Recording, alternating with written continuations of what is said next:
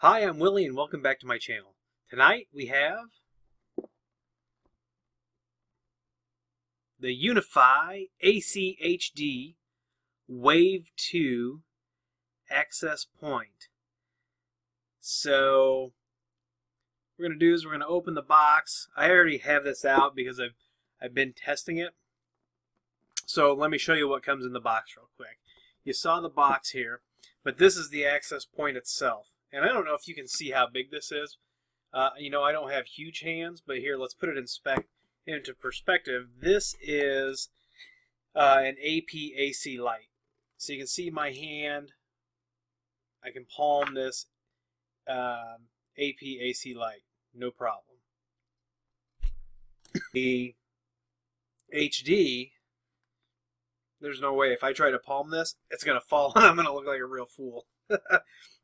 Um, so we'll come back to this.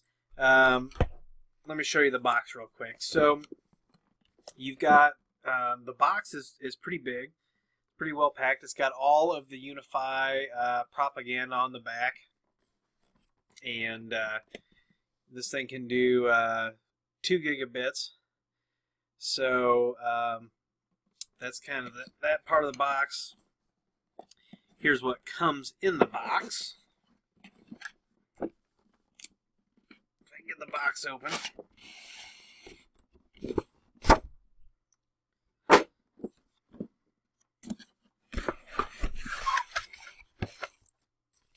Cover this uh, styrofoam that was covering it. Got this rubber piece, and I'll show you what that's about here in a minute. Then you have mounting bracket, and of course it is proportionally as large as the HD. There's your bracket for your drop ceiling. Quick start guide. got the massive 48 volt white uh, PoE adapter. And then all your mounting hardware. So it's pretty standard fodder what comes in the box. So what's different is, you know, obviously the access point itself. So let's go back to this unit.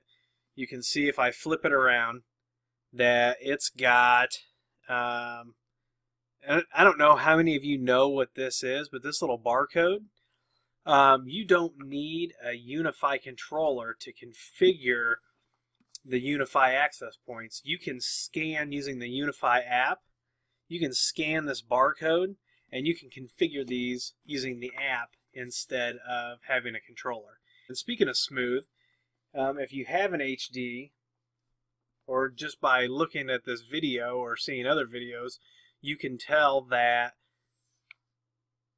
the finish on this is different. If you feel this, it's not like the smooth, hard plastic feel that um, that we're kind of used to with the UAPs. So even if I switch back to this AP-AC Lite. First you can see the metallic looking U logo and that kind of pops off. It's, it's uh, embossed or extruded. I don't know what you want to call that. Um, and then you've got the light here and then this is like a smooth smooth plastic. Well, I, I believe for regulatory uh, purposes for these to, to go into other countries, they had to make some changes. And I also believe that uh, all of the new access points at some point will all have this same kind of matte finish. And the logo here is actually, I believe that's screen printed right on the, uh, the device. So back to the back of this device. You heard me earlier say it can do 2 gigs. So what kind of ports do you have? Well, down here you've got the primary and the secondary port. And then you also have a USB-C, and then you have your reset. So the USB-C um, is interesting. You can see those um, on the uh, the Pro APs, and the you can also see USB ports on the EDU. I don't think it's C. This is the first one that I've had where it was the USB-C. So you can create a lag here. Um, so let's uh, let's plug this guy back in, and uh, we'll hop over to the controller real quick and we'll poke around and, and see what kind of options we've got. Be right back. Real quick, before we get to the controller, I wanted to come back to this rubber piece and what this is for. So uh, the HD is, you know, it has some weather proofing. You, I don't think it's suggested to install this in direct weather, just like with the AC Pro. You know, you can mount it where it's not going to get direct water on it, you know, outside. So what you would do is you would run all your, your cabling um, and and then you know you would put this the rubber mount uh, the rubber mount inside of this and then you would have some semblance of, of weather sealing. I have not put this unit outside. This unit has not been in my shower like the mesh access points, but if I want to give it a bath or put it outside, I can uh, sleep, you know, sleep at night knowing that I've got this rubber stopper to go in the back. All right, so let's get over to the controller. So one thing that I have noticed is that it does take a little while for this access point to boot uh, and reboot and provision. So I'm a, I have to assume that that is that is hardware related. So if you know otherwise, please post down in the comments. So you can see we've got this adopted into our controller. So let's bring bring this guy up. So here's our overview screen. We've got our MAC address, our firmware version that we're running, our IP address, our uptime. We can take a look at our NBG, um, our NAAC radios, and then of course we can do a um, an RF scan and you can see that I've I've never done one here with this. We can hop over here, we can see users, guests, and then configuration. I've got no tags. Um, here's my alias. I'm also using the site LED settings. So we can start looking at our uh, radio configuration. Now, it's been brought up, you know, why doesn't this support VHT 160. It could. Um, it very well could. I mean, the hardware is capable of that. They can write the software to do that, but can you think of any practical application that's actually using that now besides saying that it's there? Um, and really, when you start, you know, when you start using uh, bigger um, channel widths and, and bonding these channels and things like that, do you really know the impact? I mean, those are some some questions that you got to kind of ask. So I do um, applaud Ubiquiti for holding off on that, and I specifically have asked that question to them. So uh, VHT 80 should get you the throughput that you that you need for now. And you can see that I have the transmit power and the channels and everything. Uh, manually configured. You can see we've got just our standard controller um, you know, default WLAN group with the FBI VAN SSID.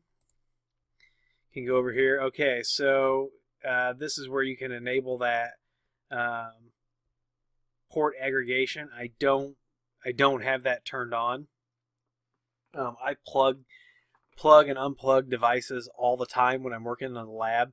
So um, I'm getting a new rack tomorrow and uh, I'm going to move some things around so I'll have two racks in the lab. If you want to see a video tour of the lab, let me know down in the comments. Um, if I get enough people that are like, hey, we want to really see what your lab looks like, then I may do uh, just a video tour of the lab. Um, but once I get set up, eventually I'm going to dedicate certain switches and, and procure more switches uh, where I can do things like creating a lag and then not have to write it down, document it in the in the lab environment because I'll know that you know this switch, this is the switch where all my lags exist, and I'll do it in a two port you know configuration and and things like that. It'll make it a little bit easier. With the price of the uh, UniFi switches and the Edge switches. You know, why not? I mean, it's very economical.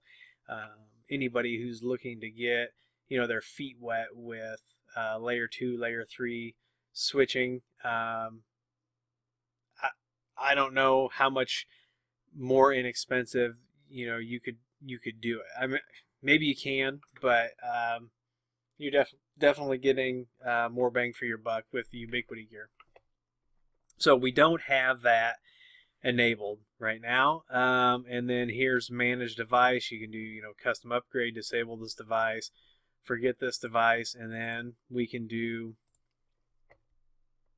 the debug terminal. I open that up, which by the way, this is really slick. I don't know if if you've uh, you know ever used it or not, but what we could do is uh, make sure that my phone is connected and we see Willie's phone and we see that I'm connected at 866 megabits and I better be connected at good speed. I'm pretty close to this thing. So what we can do is let's uh, let's do this. Let's SSH into let's go into our server.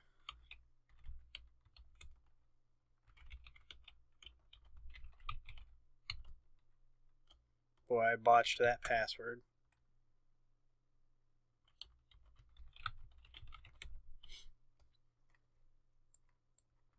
And we'll do, um, let's see. Um, let's do iperf3-s. Okay, so we're starting iperf3 and I'm going to go to the phone and I've got the iPerf app on the phone and I'll show you that here in just a second. Um, the app that I use is called iPerf uh, Magic.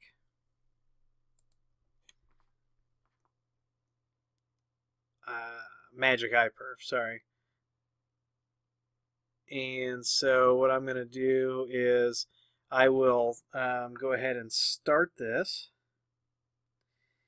And so we are going to connect from my phone over to